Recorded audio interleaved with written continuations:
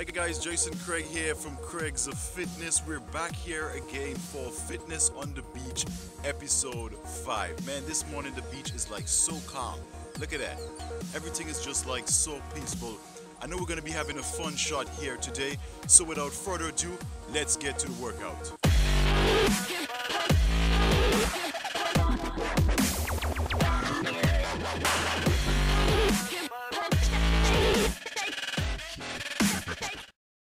Alright guys, welcome to this workout is to be challenging today. There's uh, some new exercises here.